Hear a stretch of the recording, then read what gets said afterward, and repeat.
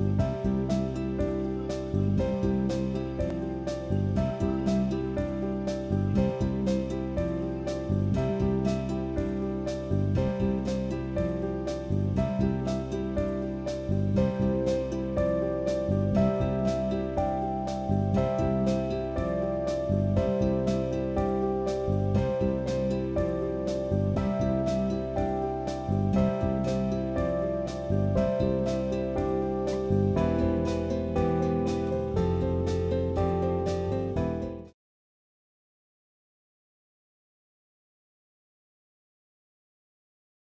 Welcome to the course Knitting Design Technology Flat Knits.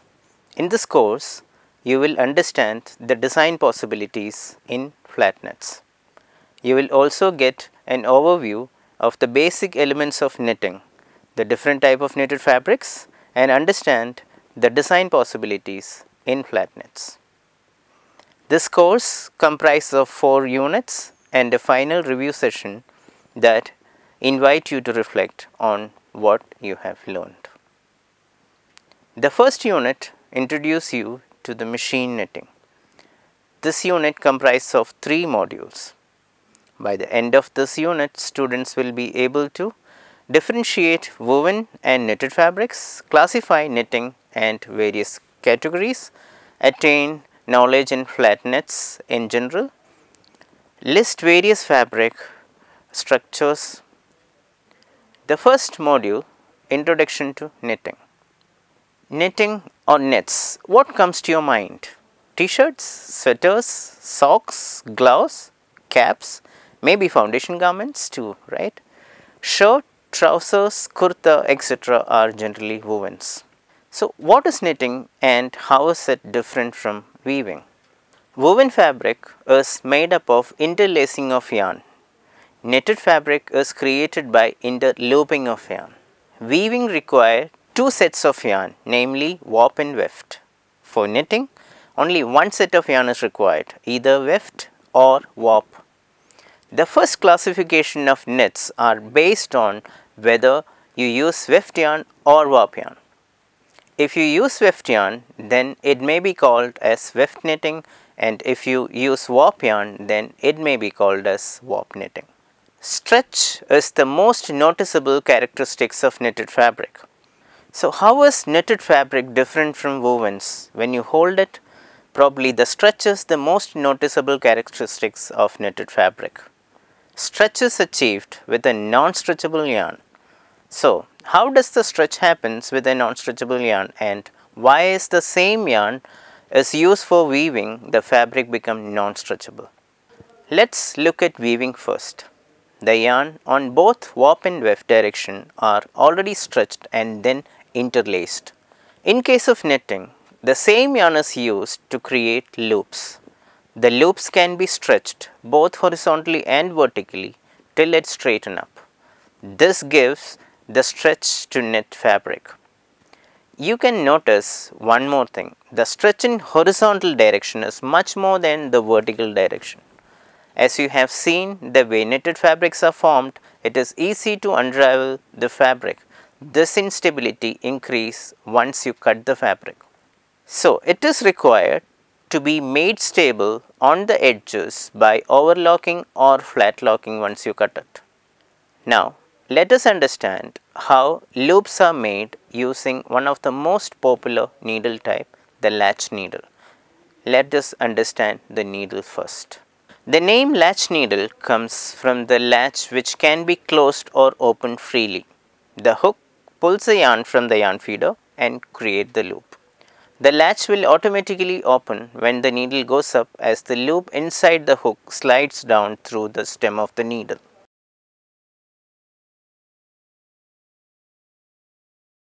If the needle pushed forward enough, the loop will be cleared of the latch. Now, when the needle comes down, the latch would be closed by the loop on the needle and the loop slip off from the needle.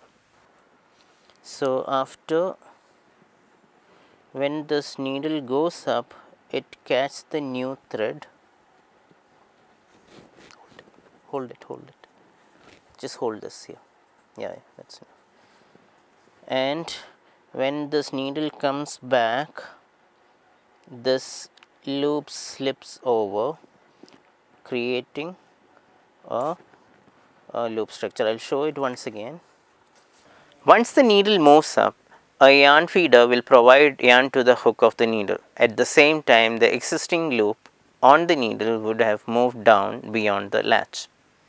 When the needle moves down, the hook draws yarn from the feeder to create a new loop. At the same time, the existing loop will slip over the new loop and create an interlooping structure. When a row of needle moves up and then down, one after the other, a row of knitted loops created. So, it is understood that if a knitting needle moves up and down and if there is a feeder available to feed the yarn when needle goes up, knitting may happen. The movement of needle is made possible by the movement of cam box or carriage over the needle bed. A needle bed is a metallic slab with grooves for needles to be placed facing up. The butt of the needle would be protruding out of the needle bed while the rest of the needle would be inside the groove. By pushing the butt up or down, you can control the movement of the needle. The cam box consists of a few cams which have grooves shaped in such a way that if the cam box moves over the needle bed, the butt of the needle will enter the cam groove and the groove will guide the needle up and down. The cam box also carries a yarn feeder which will feed the yarn whenever the needle comes up creating knitted loops.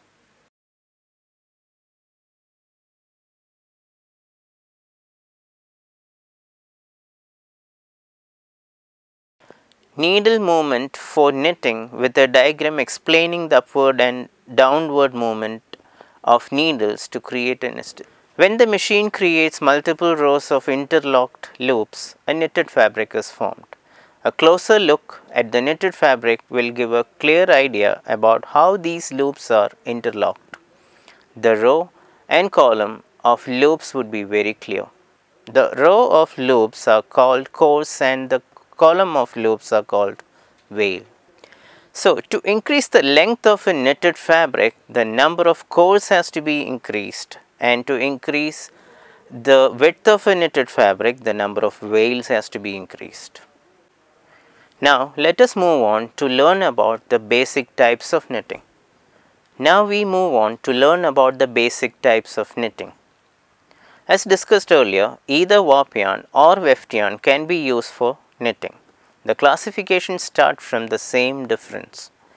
If warp yarns are used, then it is called warp knitting and if weft yarns are used, it is called weft knitting. In other words, if loops are produced vertically, then it is called warp knitting and if loops are made horizontally, then it is called weft knitting. Warp knitted, common warp knitted fabrics also. I think we need to cut it here. No? Laces, mesh fabrics, Fine fabrics used for lingerie, thick fabrics used for outerwear are the most popular fabrics made out of warp knitting. Most commonly used knitted garments such as t-shirts and sweaters are made out of weft knitting. The most popular weft knitting machines are divided based on the shape of the needle bed. Based on the shape of the bed, the machines are classified as flat V bed machines and circular bed machines. When the flat V-bed machines, in short flat knitting, produce mostly flat fabrics, the circular bed machines, in short circular knitting, produce tube-shaped fabrics. The flat knitting machines produce coarser fabric compared to circular knit machines which produce finer fabric. The most commonly found sweaters are knitted in flat knit machines and the most commonly found t-shirts are made in circular knitting machines. In this course, since we are concentrating in flat knitting, it will be interesting to start with the name itself. The reason for flat V-bed knitting is because of the arrangement of two flat needle beds in inverted V position which makes a right angle at the top of the needle bed. Let us look at these two fabrics closely. You can see the loops are bigger in one fabrics and the loops are smaller in another one. In other words, one is coarser and the other one is relatively finer. Now let us look at these two fabrics. The finer one is coarser now. The fineness and coarseness of the fabrics also related to the number of needles packed in 1 inch on one needle bed and it is known as gauge of the machine. The number of needles available in 1 inch of the needle bed is defined as the gauge. A machine with 5 gauge would be producing a thicker fabric compared to a machine with 10 gauge. The most common machine gauges are 2.5 gauge, 4 gauge, 5 gauge, 7 gauge, 8 gauge, 10 gauge, 12 gauge, 14 gauge, 16 gauge, 18 gauge, 20 gauge, 22 gauge, 24 gauge, 25 gauge, 28 gauge, 30 gauge, etc. Today, there are machines available with 80 gauge also. Most of the flat knitting machines are below 20 gauge and most of the circular knitting machines are above 20 gauge. Though technically it is possible to produce circular knitting machines with coarser gauges like 7 or 5, it is not popular in the knitting industry for varieties of reasons. The flat knitting machine needles used in advanced knitting machines have an additional latch on the side of the needle which helps in transfer of loops. This additional latch prevent the needle manufacturers to produce gauge finer than 20. In future, there may be a way to produce finer flat knitting needles as the demand for flat knitted garments are ever increasing. Let us look at the basic stitches in knitting. There are three basic stitches in flat knitting a full loop called knit, a half loop called tuck and no loop called miss. To produce a knit stitch, the needle has to go all the way up so that the loop inside the needle hook was cleared of latch area and the new loop would be taken through the previous loop. To produce a tuck stitch, the needle has to go only halfway just enough to catch the yarn from the feeder at the same time the loop inside the hook will slip down over the latch but not clear the latch. When the needle comes down, the previous loop will return to the hook and the hook will also have a new half loop. Since the new loop has not passed through the previous loop, it cannot be called as a full loop, hence the half loop. To produce a miss stitch, the needle should not go up at all the needle messes the knitting and produce no loop and hence a misstitch. To produce all these three types of loops or stitches, the cam should be set accordingly. The cam box has a groove which can be altered to get all the three basic stitches. For knit, keep all the cams in position and the groove will guide the needles all the way up uh, to form the stitch. For tuck stitch, switch on the tuck lever and the groove will be altered and the needle will raise only halfway and come back creating tuck stitch. For miss, switch on the miss lever and this will allow the needle to pass through the cam box without pushing the needle upward resulting a miss stitch. There is one more cam which is called a stitch cam. This cam moves up or down which will alter the length of a stitch. If the cam is set lower, the needle after receiving the yarn on hook will come down more than usual and result a larger stitch. If the stitch cam is set at a higher level, the needle will come down less than usual forming a smaller stitch. For example, a 7 gauge machine with a smaller stitch can produce a fabric which looks like 9 gauge and the same machine with a larger stitch can produce a fabric which may look like 5 gauge. Finally, let us learn about the various type of fabric produced in flat V-bed knitting machine. Basic fabric design, single jersey and double jersey. Let us look at the loop closely and let us imagine the back view of the same loops. You can now notice a prominent V-shape formation on one side and a horizontal streak formation on the other side. If you see a fabric with V-shaped stitches on one side and horizontal streaks on the other, you may be looking at a single jersey fabric. The single jersey is produced by engaging needles from one bed of the machine. Either front or back bed can be used for producing single jersey. The loop diagram for a single jersey can be drawn as shown here. We have to disable one needle bed to produce single jersey. This can be achieved by closing the levers in cam box. The cam setting may be represented as shown here.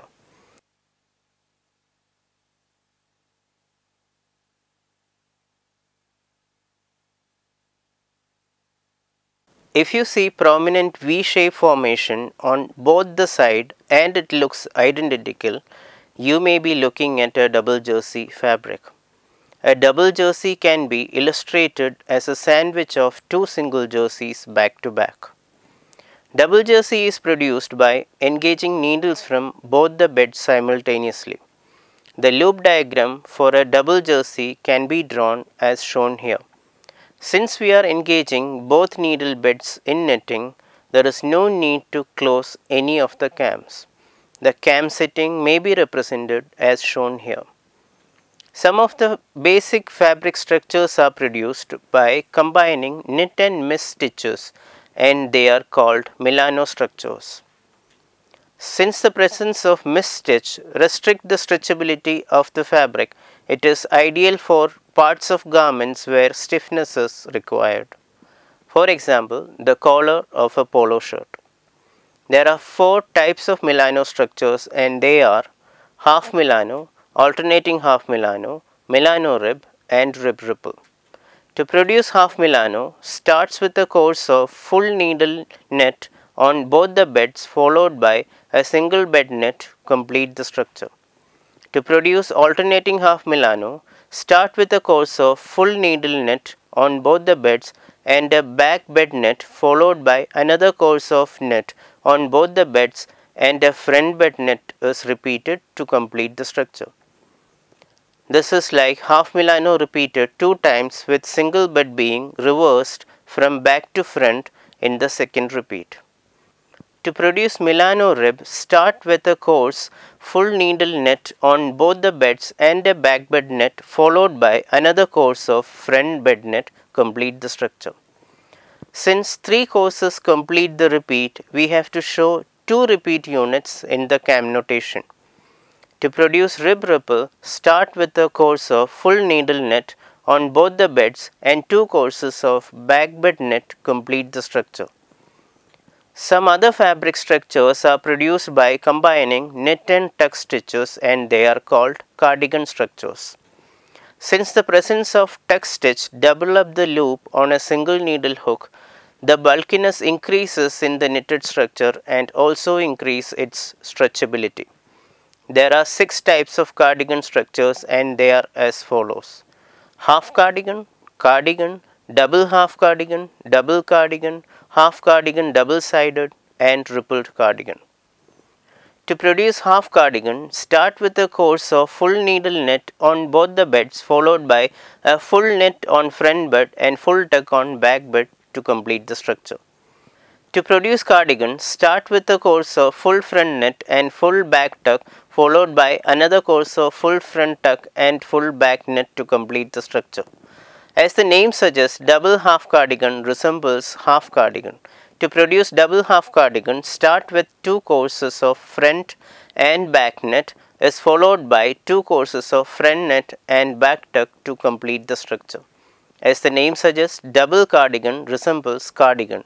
To produce double cardigan, start with two courses of front knit and back tuck followed by two courses of front tuck and back knit to complete the structure. Half cardigan double sided is just a reverse of the second repeat of the half cardigan.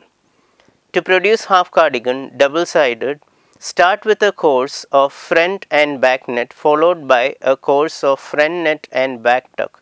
Now start again with a course of front and back knit followed by a course of front tuck and back knit. Ripple cardigan is very similar to the construction of rib ripple. To produce ripple cardigan, start with front and back knit followed by three courses of front knit and back tuck. The possibility of transferring of loops from one needle to another makes the flatbed knitting all the more preferred way of making garments these days. Shifting a loop from one needle to another on the same bed is known as move. Shifting of loops of one bed to needles of another bed is known as transfer.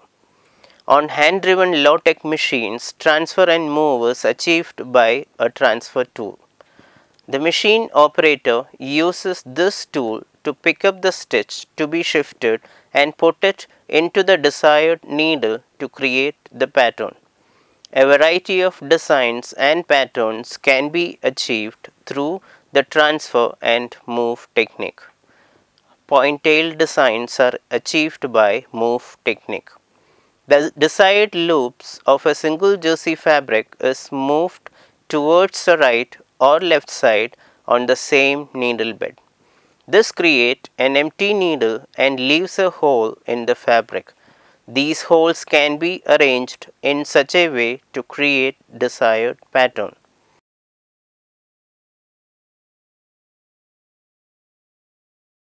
A drop needle design structure is usually created by switching off few needles. Before switching off the needles, the existing loops has to be shifted either with move or transfer techniques. This will create a rib pattern and a variety of designs can be achieved. To create transfer pattern, transfer few loops to the opposite bed, continue knitting for few more courses and then transfer back and continue knitting.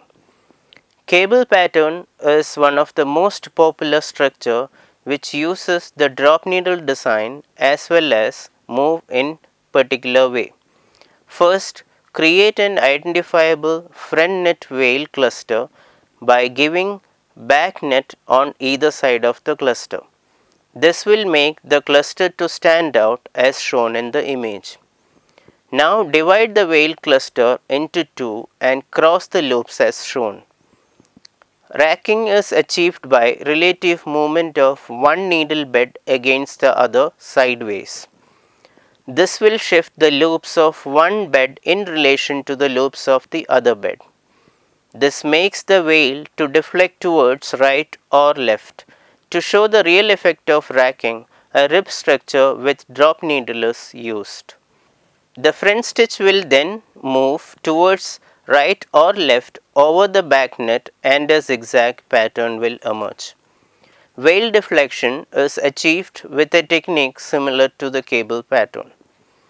In cable pattern, we exchange the front knit loops by crossing and placing it in each other's position.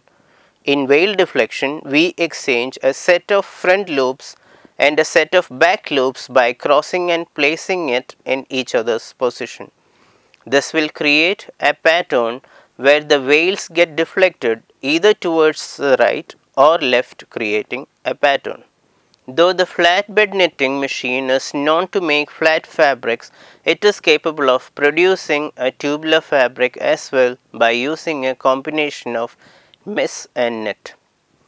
While knitting odd number of courses, knit on one bed and while knitting the even number of courses, knit on the opposite bed to create a tubular structure. This technique also allows one to produce a single jersey fabric with double the width of the needle bed.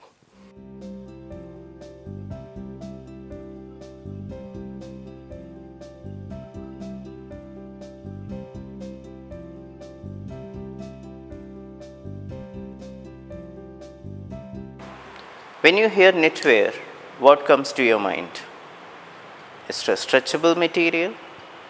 There are garments like t-shirts, sweaters, foundation garments, outerwear, socks, gloves, many more. So what is common in all these products? And what is that one factor which makes a difference or differentiate from woven material? That is the stretchability. So, is that yarn is different or it's the way it is created is different? So, let us say for example, we are going to use the same yarn for knitting as well as weaving. Let us see what happens with that. So, I will start explaining weaving first, then I will explain knits. Now, in weaving, we need two sets of yarns. One run horizontally, another one run vertically through this.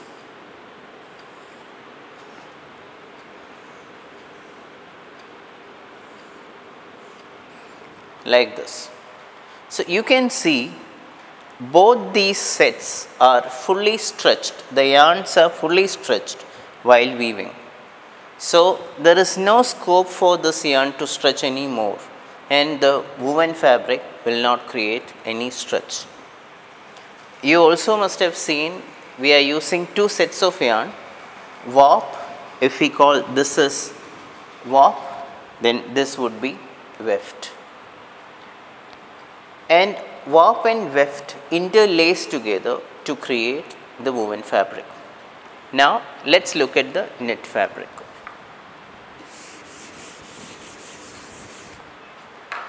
In knitting, we will take one yarn and we will create a loop with the help of the machine. We will create a second loop, third, fourth like that and the same yarn come back interloop, a technique called interloop and create a second row of sorry row of loops.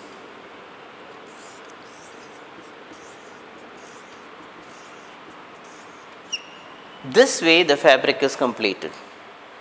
Now look at this. In weaving you have a completely stretched yarn creating the fabric in knitting, the same yarn is created as a loop. Now, that means this can be stretched in two direction that is this can be stretched something like this that is a horizontal stretch. This can also be stretched something like this which is a vertical stretch. So, it is not the material or the yarn which is making the stretch, it is the way in which we are going to convert this into a fabric that is causing the stretch. In knits, the loop shape itself is creating the stretch. Now, as I said earlier, we have two sets of yarns required for weaving, warp and weft. In knitting, we need only one set, either warp or weft. So, the, the example I showed, this is a weft knitting example. Now, the loops are created horizontally, that is in weft direction and in warp knitting, the loops would be created in a vertical direction. So, we have two branches in knitting based on the type of yarn used that is called warp knitting and weft knitting. Now, if you look at the most of the garments produced, whether it is sweaters, t-shirts or foundation garments, most of the garments are knitted with weft knitting technology. Most of the lace structures and mosquito nets, fishing nets and many other net structures are created with warp knitting technology. Warp knitting is also used for many technical fabrics as well. Let us concentrate little more on weft knitting.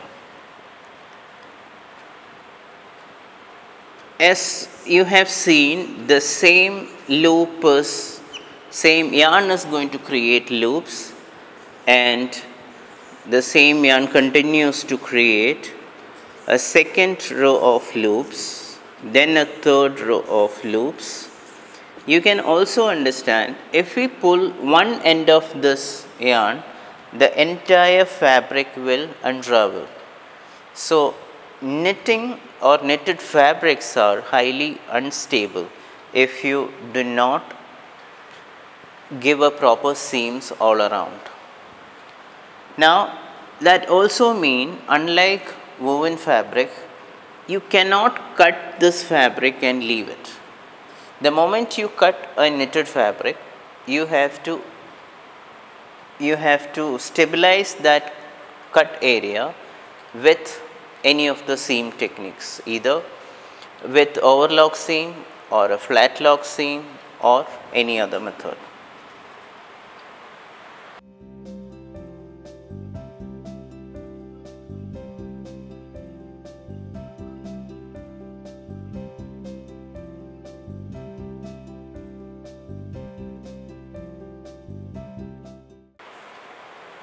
You have seen how this fabric's been created with the help of interlooping of yarns. So, we have so many loops being formed here. Now, how do we identify or what do we call the set of loops which run horizontally and vertically? So, the set of loops run horizontally are known as courses.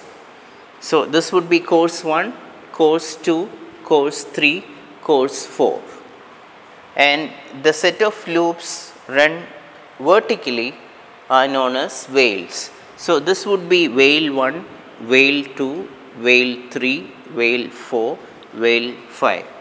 Now, that means let us say the machine is producing a fabric and we are going to knit it in this direction because it is weft knitting. So, what is going to influence the length of the fabric and what is going to influence the width of the fabric? Now, number of courses 1, 2, 3, 4, the moment you keep on increasing number of courses, course 1, 2, 3, 4, 5, 6, 7, 8 like that, we are going to increase the length of the fabric the moment we increase number of wales which is 1, 2, 3, 4, 5, the moment we increase that further, we are going to increase the width of the fabric. So, the course will determine the length of the fabric in weft knitting and the wale will determine the width of the fabric in weft knitting.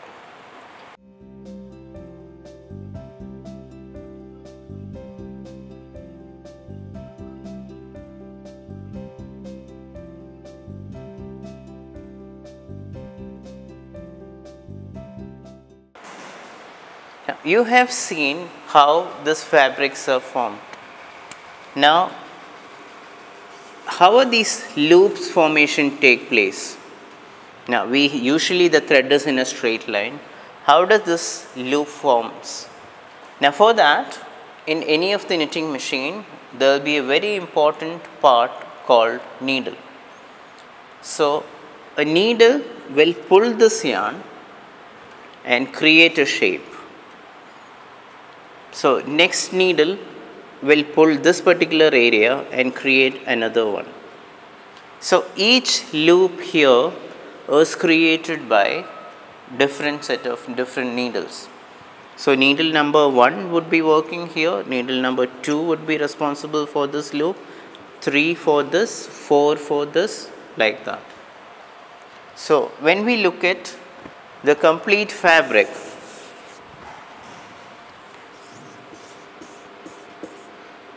each wale is created by one particular needle. So, the second wale would be created by the second needle, third wale would be with the third needle etc. Now, imagine a flat long surface we call it as needle bed and there are needles kept on those flat beds. Yarn would be available in certain height. The needle goes up, catch the yarn, pull it down, create a loop here. The same thing happened with this needle, create another loop, a third loop, fourth loop, fifth loop, sixth loop like that. So, we have a metal plate packed with needles and we call the plate as needle bed and the needle bed will help the needles to be positioned in a way that the needle can go and catch the thread, catch the yarn and create the loops. Now, depending on the shape of the needle bed, we have two different technologies being used for knitting. The example I have drawn earlier that was a flat needle bed with needles placed on that. Now there will be one more needle bed just behind this create one more set of needles. So basically a normal knitting machine I'll call it as now flat knitting machine because of the flat needle bed we have. The flat knitting machine will have two beds and each bed will have one sets of needles each. Now the same way there will be one more type of needle bed that will be in circular cylindrical shape needles would be arranged around this cylinder. Now if you look at this we have a starting point, we have the first needle, we have let us say there are uh, 50 needles, 50, 50th needle also. This a clear starting point and end point for this needle bed. Here in circular knitting machine or the circular needle bed if you look at it there is no clear starting point. If you count this as the first needle then if you keep on counting to uh, when you reach here it will be the 50th needle. Well if you count this as take this as the uh, first needle then this would be the 50th needle like that. So here it is a continuous array of needles around a cylinder that can also produce knitted fabrics. A flat bed with a set of needles can also produce knitted fabric. Now here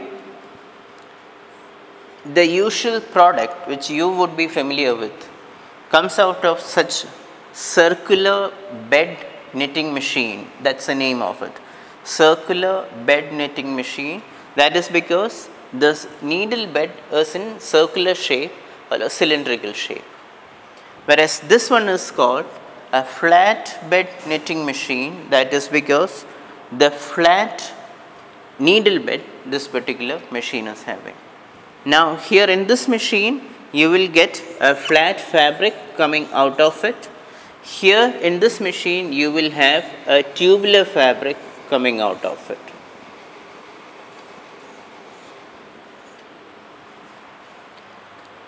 Now from this machine you usually produce fine knits or t-shirts kind of materials.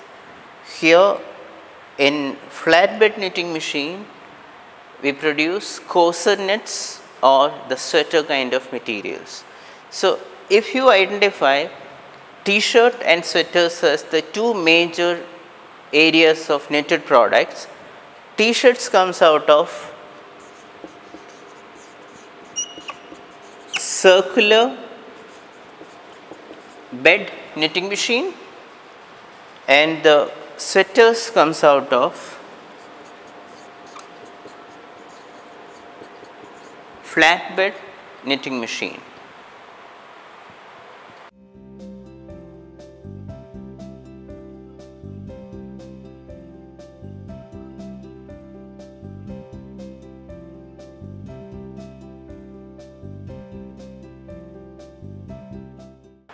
This video should be continued after showing different uh, fabrics of different gauges. You have seen different fabrics. Now what is the difference you noticed? In certain fabrics you had bigger loops. In certain fabrics you could not even see the loops because it was too tiny. How do we differentiate this? So, bigger loop fabric or small loop fabric. So, what if something comes in between like this is much smaller compared to this this is a smaller loop size and compared to this this bigger. So, there has to be a scientific terminology used to categorize such kind of fabric that is called gauge. Now, it is written with represented with two small g's. Now, if you look at the different fabrics we have seen, we had 5 gauge, 7 gauge, 8 gauge, 10, 12, 14, 16, 18 like that. Towards this side we have 4, 2 and half. So, starting the machine with the lowest gauge is 2 and half gauge and then we have gauges slight uh, slowly increasing. Beyond 18 we have 20, 24, 26, 28, 30 like that. Now, this will have the biggest loop, this will have the finest, the smallest loop. Now, if you look at the industry, we have flat knitting industry and circular knitting industry. We have flat knitting machine, circular knitting machine, we have sweaters and t-shirts. You must have seen, noticed, sweaters will be having bigger loop sizes. So, usually sweaters are produced with these kind of machines and the t-shirts are produced with these kind of machines. So, here you will get sweaters, here you will get t-shirts. Now, when we talk about gauge alone. Now, what is the meaning of let us say 5 gauge machine? And how is it you have seen 5 gauge fabric? How can we find out by looking at a fabric what will be the gauge? A 5 gauge fabric meaning the fabrics being knitted in a 5 gauge machine. So the gauge is directly connected to the machine now you remember we had a bed with needles in it.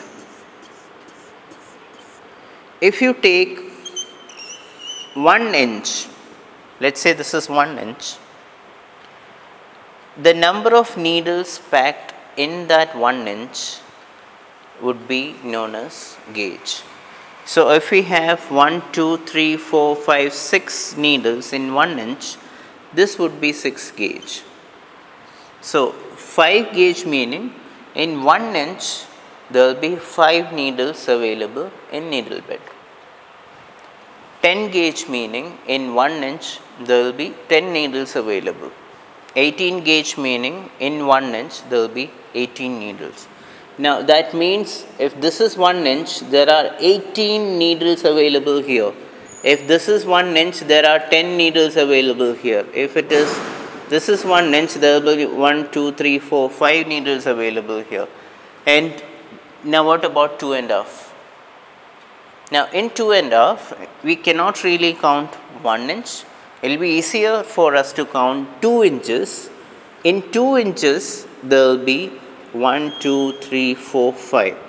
So in 2 inch inches, it will be 5 needles so, when we divide that by 2 you will get the number of needles available in 1 inch which would be 2 and half gauge.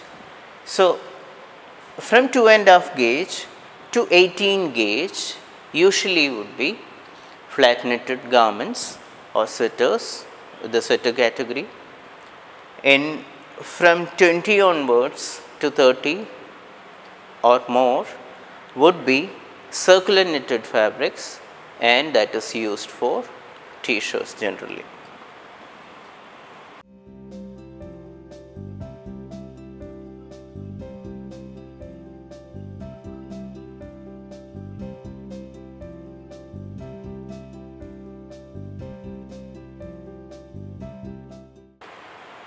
We have seen how this latch needle goes up and catch the yarn and come back with the help of a groove inside cam box. Now if I draw the cam box in detail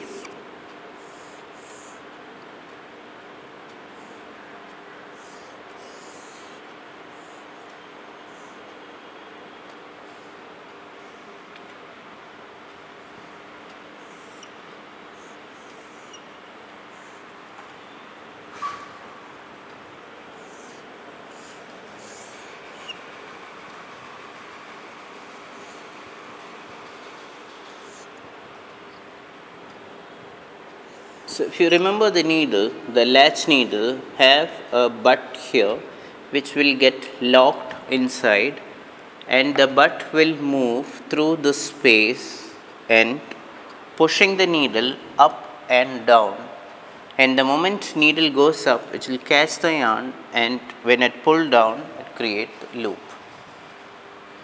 Now there are three basic stitches available in knitting.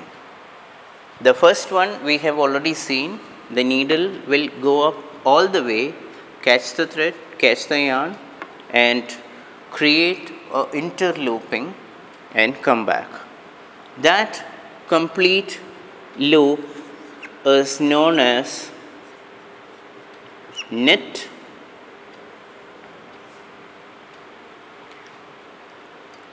we can also switch off this part of the cam box and when we try to operate this the needle will slowly raise and at this level it will bypass and then come down. That means the needle will go only halfway up and create a half loop called tuck. Now in a third setting we can withdraw this particular cam as well. That means the needle will just bypass this entire cam box and needle will never go up. New loop will not be formed and that has been represented with a straight line and that has been called as miss. All the knitted structures would be a combination of any of these basic stitches. The full loop is known as knit, the half loop is known as tuck and no loop is called as miss.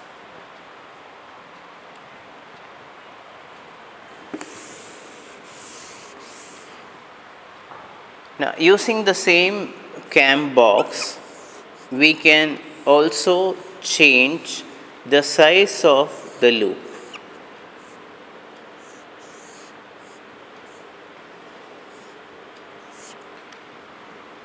Let's say the yarn is available here, needle goes up, catch the thread and pull it down. Now how much that is going to come down that defines the size of the loop. Probably if the needle is coming only little bit, the loop size would be smaller. If the needle is coming more and the loop size also will go up. To achieve various loop length, there is there are multiple cams available in knitting machine. Those are called stitch cams. The stitch can cam can go up or down. We can set it in different positions in both side. So let's say I am moving this cam box in this direction. So the needle is available here. So the needle will go up all the way and while it coming down the, the butt of the needle would be touching this cam, stitch cam, it slowly comes down and escape from this point. So let's say we have a medium size loop. I can change the setting of this to a much lower level setting. In that case, the needle will come lot more towards the bottom side and then escape creating a much bigger loop. I can also move this cam towards a higher level. In that case, the needle when it comes down will escape before reaching the normal position creating a smaller loop. So, by adjusting the stitch cam into different levels we can vary the size of the loop. Now, why do we need two sets of stitch cams? That is because when we are going this direction the needles will the needle butt will enter from the side and only this slope would be used to raise this needle and this slope would be used for the needle to come down.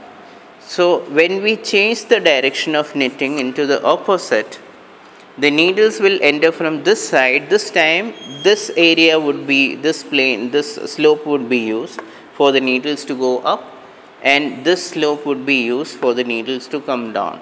So depending on the direction if let us say we are uh, doing like uh, number 1 direction left to right and number 2 direction right to left this stitch cam would be used when the needle enter from the side that means the direction is going to be right to left. So, this one is the second a stitch cam number 2 stitch cam that that defines uh, the direction of right to left.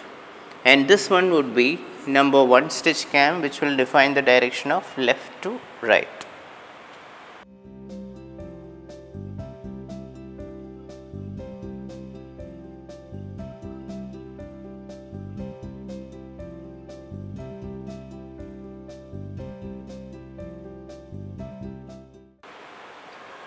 We have seen in flat knitting machine the normal knitting cycle.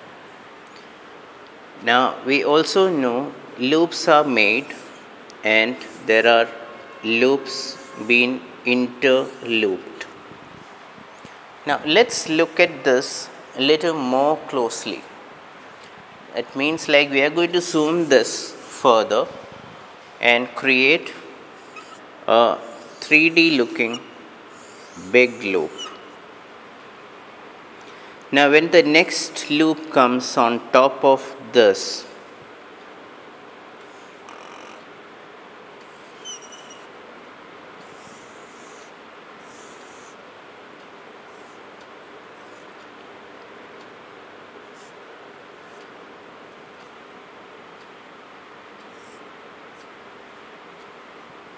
Now another side, if you look at this from the other side, the same loop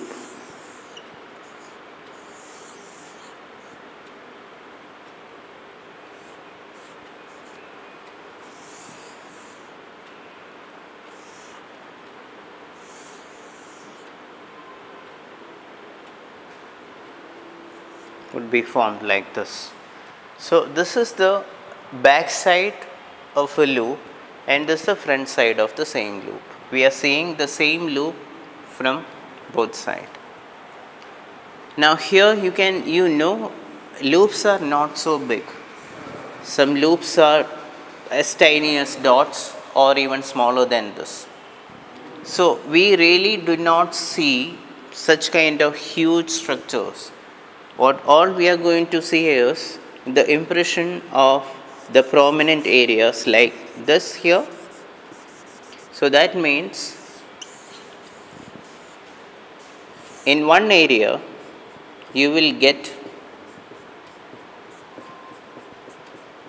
something like this In another area you will get impression of these things meaning you will get something like this.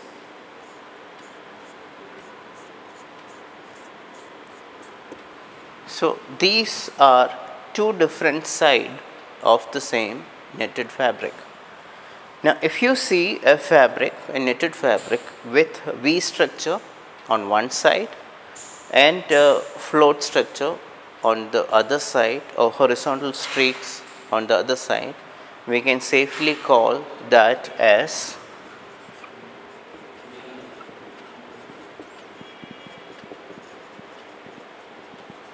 single jersey. A single jersey fabric meaning in a flat knitting needle bed in a flat knitting machine only one side bed is used for knitting. If we use only one side of the needle bed for knitting, we will produce a fabric which is called single jersey and how to identify that single jersey? One side there will be V mark, the other side you will have horizontal streaks that actually comes out of one set of loops and one side would be V marks and the other side would be horizontal streaks. Now, if you look at a fabric which looks exactly the same on both sides, then that would be called as a double jersey. Now, what is double jersey? It is nothing but a sandwich of two single jerseys. So, you do not see the back side of it, you will see only the front side on both side. So, this would be a single jersey and this would be a double jersey.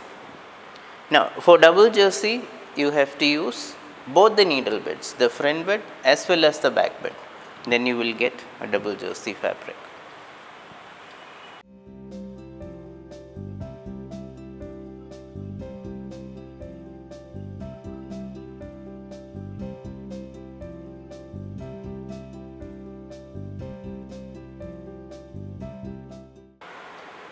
We have seen various basic fabric designs using the three basic stitches in knitting that is knit, tuck and miss.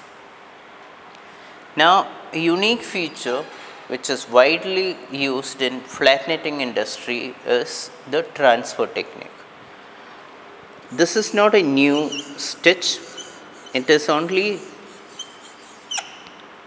a movement of any of the loops either sideways or from one bed to the other. That creates a whole set of new designs in flat knitting industry. How does this happen? You can see the demo. Now what happens with uh, transferers, you have to take out this loop either using a tool for it if it is a hand driven machine or automatically in case if it is a automated machine. So, take out the loops, stretch it, put it into the needles next to it either way, both ways. If you do this, this needle has become empty, there are no loops here later on when you knit this fabric here this area you will get a hole a small hole. Now using this technique you can arrange the holes in whatever shapes you want and create designs. Now when we shift or transfer the needle the loop from one bed to the other that is called transfer which can be represented like this. Let us say this is the front bed and this is the back and this is the back, this is the front. So, either it can happen from front bed to back bed that is called transfer or it can also happen if the needle is if the loop is in the back bed and if you want to shift that loop into the front bed this can happen. So, where exactly do we use this? One of the common area is when we start any flat knitted garments of fabric, we will start with a rib structure either one by one rib or a tubular rib. Once now this is a double jersey fabric. Once we reach the rib level, after that it's going to be a single jersey. So here it is double jersey, here it is single jersey. At this level we have knitting happening on both the bed needles. Now once it reach here we have to empty one of the bed to continue or to create single jersey. For that purpose we have to shift loops from one bed to the other. So, we can apply this technique any one of the technique and empty one side one bed completely and have all the loops into one of the bed continue knitting a single jersey. This is one of the major application. Now, the next method is what I have shown here shift the loop sideways within the bed. If the loop is in front bed, now, instead of this we will have uh, front bed only loops would be moved it is called move M O V E whereas this one is called transfer.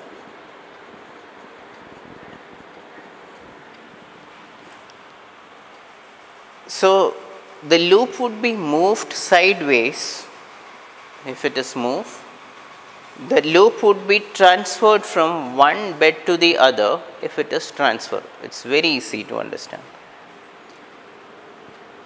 If we move it sideways, we can create patterns. If you shift it from one bed to the other, transfer it, that also create a different pattern.